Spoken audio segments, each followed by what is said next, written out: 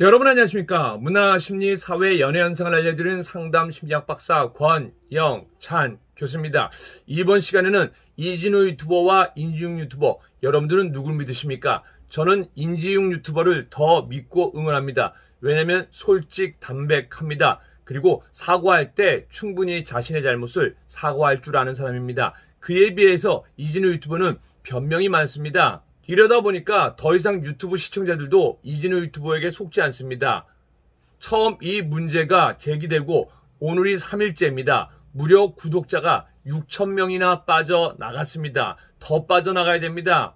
그리고 더욱이 인지용 유튜버는 템퍼링에 관해서 이야기를 하고 있습니다. 그리고 저는 이진우 유튜버의 주작 영상에 대해서 이야기하고 있습니다. 이진우 유튜버가 한 연예인을 한 방송인을 죽게 했습니다. 바로 고 최송봉 군의 죽음입니다. 여러분들 이 죽음을 잊으시면 안 됩니다. 이진호 유튜버와 그리고 SBS 강경윤 기자 그리고 스포츠 경향의 이선명 기자가 추측이 됐습니다.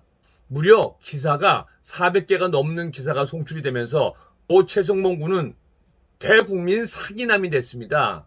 그런데 이 문제도 나중에 제가 더 자세히 취재하겠지만서도 복잡함이 있습니다. 누군가 그거를 이진호한테 넘겼는데요. 그 내용은 추후 알려드리도록 하겠습니다. 자, 이진우 유튜버 강경윤 기자, 그리고 스포츠 경영의 이선명 기자, 당신들은 고 최성몽 군에 대해서 책임이 없습니까? 한 100만 넘는 유튜버도 자신의 방송으로 한 BJ가 하면 안 되는 선택을 하자 한 6개월 정도를 쉰 걸로 알고 있습니다. 그렇다면 기자 출신의 이진우 유튜버는 잠깐 넘어갈 게 아니라 당신은 최소 1년 이상 쉬어야 됩니다. 여러분들은 어떻게 생각합니까? 지금부터 그 소식 전해드립니다. 이번 시간에는 우리 이진호 유튜버 사이버 레카로 불리고 있습니다. 근데 최근에 사이버 레카들이 유명 연예인이나 일반인을 공격하면서 그들의 안타까운 죽음도 늘어나고 있습니다. 이진호 유튜버가 첫 고 최송봉 씨의 영상을 만들었는데요. 물론 여기서 우리 최송봉 씨가 잘했다라는 건 아닙니다. 하지만 제가 말씀드렸듯이 회초리로 다섯 대 맞을 거를 우리 이진호 유튜버로 인해서 전 국민 대사기극이 됐습니다. 그 기사가 그 내용이 2021년 10월 7일 이진호 유튜버 이름으로 기사화됐습니다. 그리고 그 기사가 무려 몇 개인지 아십니까? 이진호 최송봉을 검색했을 때 무려 25페이지에 달합니다. 기사 1페이지당 15개 언론사 기사가 있습니다. 즉 그러니까 뭡니까?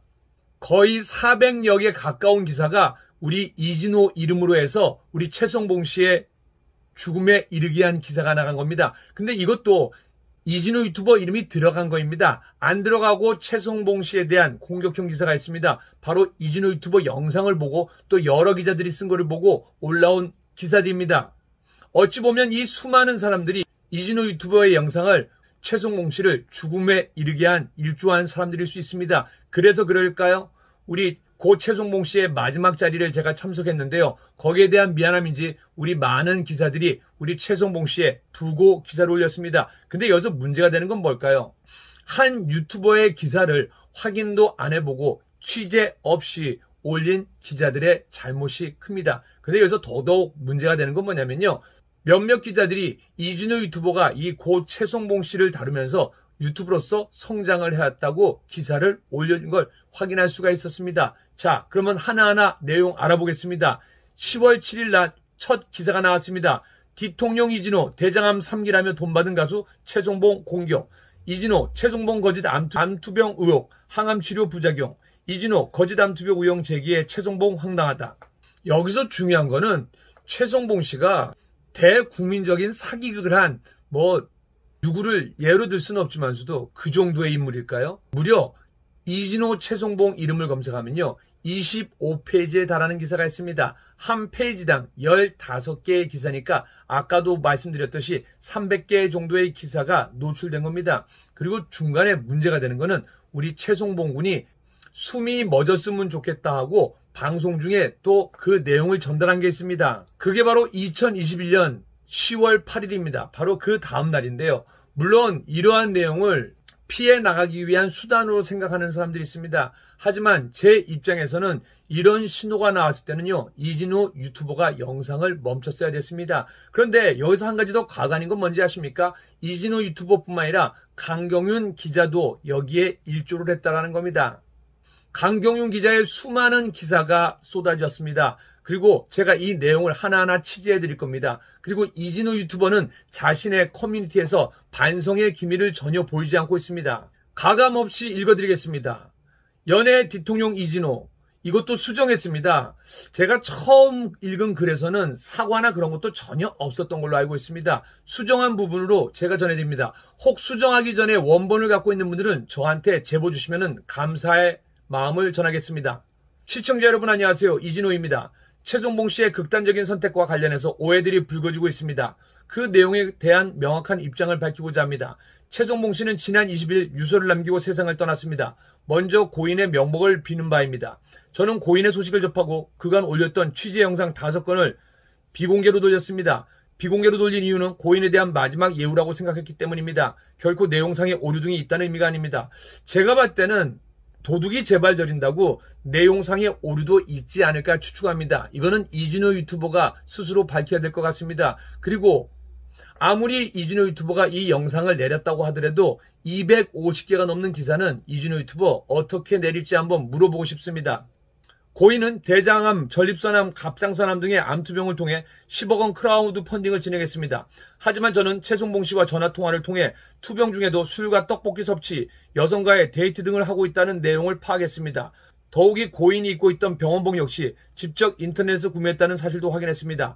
이를 통해 거짓 암투병 의혹을 제기했습니다. 하지만 최성봉 씨는 이를 인정하지 않았습니다. 그리고 이러한 최성봉 씨와의 녹취는 최성봉 씨의 허락을 받지 않았습니다. 그리고 최성봉 씨가 이 녹취는 절대로 방송에 내보내지 말라고 부탁에 부탁을 했습니다. 어찌 보면 이 녹취록을 그냥 내보냈기 때문에 최성봉 씨가 죽음에 이르기에 이르게 된 발단을 제공한 게 아닌가 한번 추측해 볼 수 있습니다.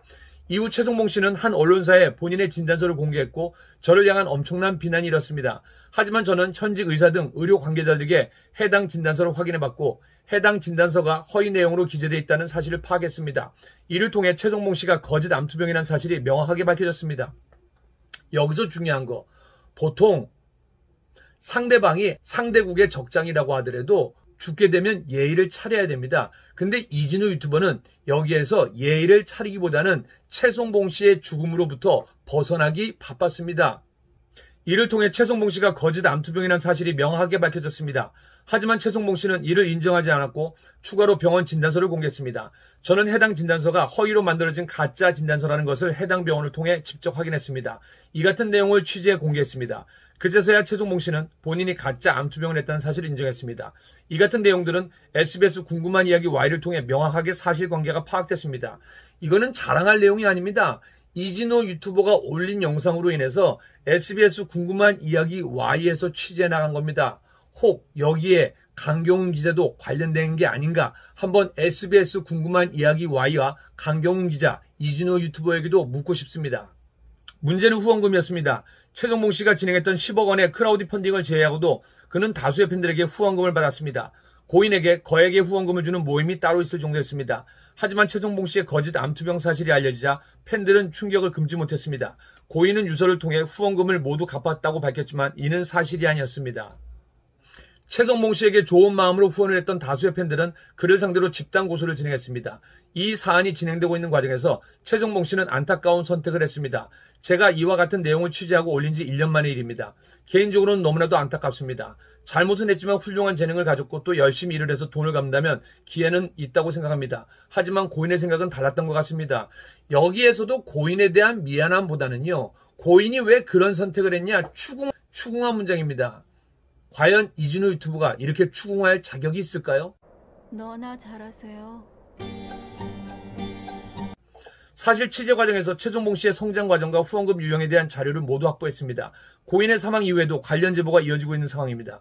하지만 저는 최종봉 씨가 거짓 암투병을 인정한 이후 관련 내용을 모두 덮었습니다. 또한 더 이상 관련 내용을 다루는 건 고인에 대한 예의가 아니라고 생각합니다.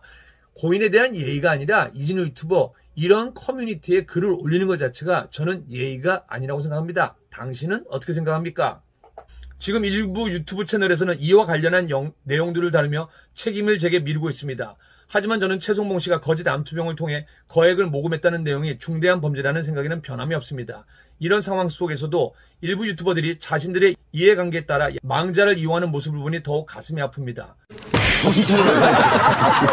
너나 잘하세요. 최소한의 양심조차 저버린 행위가 아닌가 보고 있습니다.